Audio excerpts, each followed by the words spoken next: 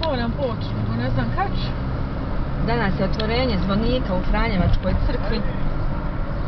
Andreja pjeva. Danas? Aha, u tri i po treba biti u Franjevačkoj, u četiri otvorenje je.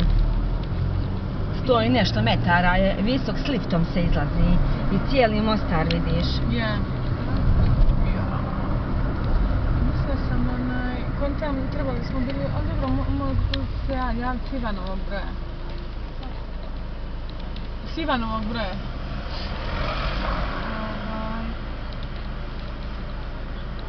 Mislila bila cvijeć.